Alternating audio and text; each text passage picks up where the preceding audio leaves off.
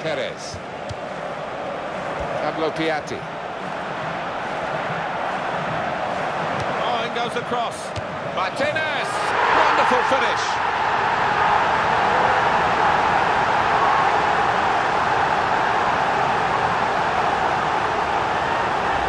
A goal from Jackson, and that's one of the best volleys I've seen this season.